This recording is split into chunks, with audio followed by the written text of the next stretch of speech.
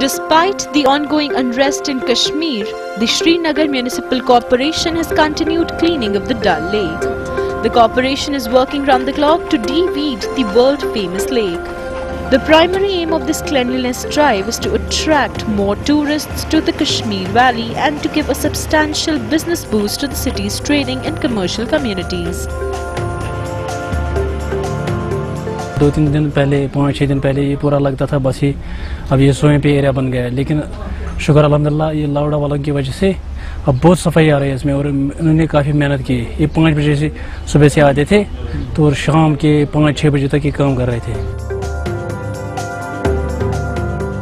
The unrest in Kashmir has led to a whopping loss to the economy of the Kashmir Valley, with tourism businesses being badly hit due to curfew and shutdown from the past two months.